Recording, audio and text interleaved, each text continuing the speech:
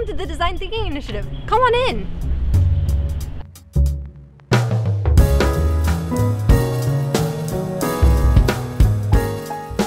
My name is Isabel Hodge and I can't wait to show you how to use my favorite machine, the laser cutter. Today, we will be learning how to manipulate an image into CorelDRAW, focus the laser cutter at input material settings, and send data to the laser cutter. Of course, we'll be learning laser cutter safety throughout this tutorial. My friend Elizabeth will show you how it's done. Let's get started. Our laser cutter works by firing a super thin laser beam at your material. Depending on how strong the beam is, it will either engrave designs or cut straight through. For this specific laser cutter, you will have to send files directly from CorelDRAW on this computer. Go ahead and sign in using the DTI login and password. Our first project is going to be laser cutting a leaf. If you already have a different file ready to go, import it into CorelDRAW and skip ahead. Otherwise, open up CorelDRAW, close the login window, and give your project a name. Then edit the dimensions to 24 inches wide and 12 inches tall. That's how big our laser cutter is. Now find the folder on the desktop labeled Laser Cutting Tutorial Materials and drag the leaf image into CorelDRAW.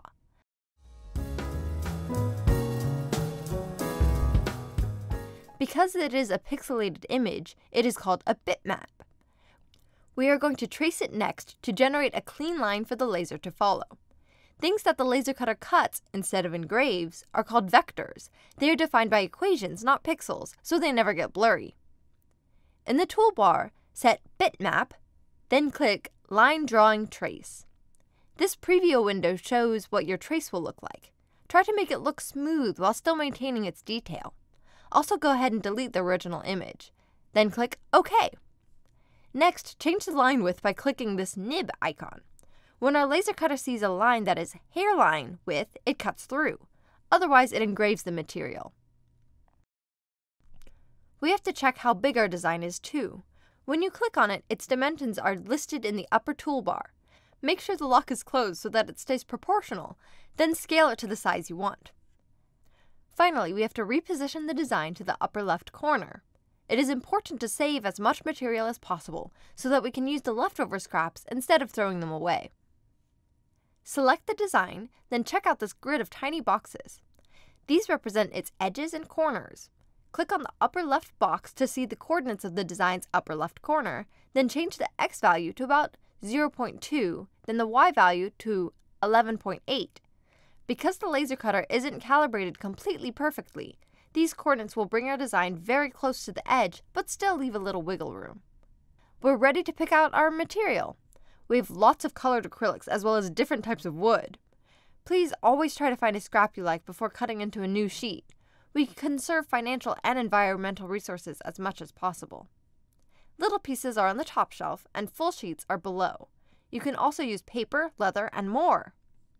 If you're working on a sizable project, please always prototype on chipboard first. Talk to us about using new materials before trying them so that we can make sure they're safe to laser cut. Now we get to turn on the laser cutter. Press the switch on the extension cord. If it doesn't turn on, then try the switch on the right side of the laser cutter. You'll see the screen light up and the laser cutter will move back and forth to calibrate itself. Open the lid and place your material on the bed so that it lines up with the upper left corner.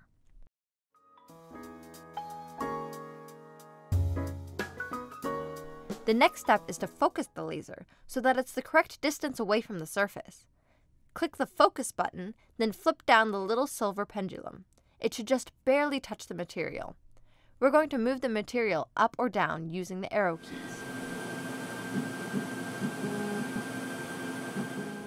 A good way to test it is to push the pendulum so that it swings a little. At the perfect distance, it will stop when it touches the material. Turn on the Fumex air filter now. It's going to get loud in here. This is a really important step. You cannot laser cut without turning this on. Come back over to the computer, print the file in order to change the laser cutter settings. Make sure the Zing laser cutter is the selected printer. First, Check the print preview and make sure the design is in the upper left corner and looks the way you want it to. Now click on Preferences. First, set the width to 24 and the height to 12, just like we did in CorelDRAW.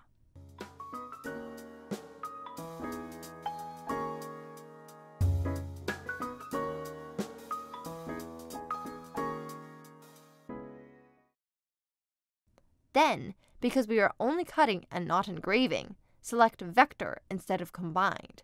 Raster means only engraving, and Combined means both. These are the settings for the laser cutter, including its speed, power, and frequency.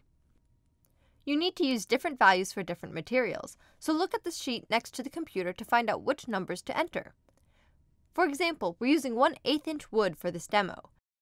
So in this vector or cutting section, I'm entering the speed, power, and frequency.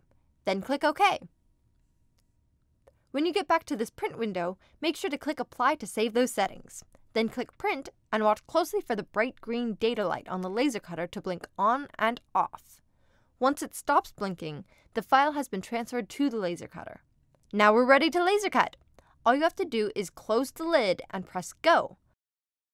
Watch the laser cutter, but don't stare at the laser. If the material is ever on fire, more than a small flame where the laser is, immediately stop the print by hitting the switch on the extension cord. Open the lid to the laser cutter, drop the fire blanket in, and close the laser cutter again. This will smother the fire. Fire averted! Opening the lid will also stop the laser cutter, as will pressing the stop button. There's a fire extinguisher outside the door, as well as the fire blanket right next to the laser cutter in case of emergencies.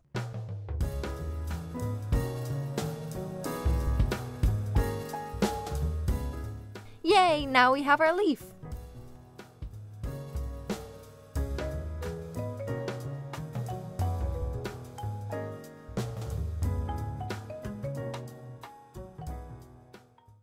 Now we have to cut off the unusable parts of the material. Click on the line tool. Click on the top edge of the page and drag down the bottom edge while holding down the control key to make sure it's perfectly vertical. Move the line so that it's right next to where you want to cut.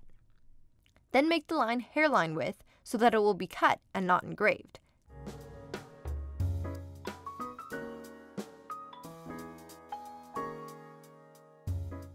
Delete all other objects with the delete key so that only the line is left.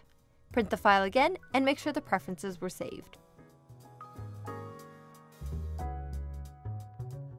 Discard the unusable scraps in the appropriate recycle bin and put the rest of the materials back on the shelf. When you're done, make sure to turn off the laser cutter and Fumex and exit out of all of your files. You can email them to yourself if you want to save them. Lastly, write down your material use on a materials log.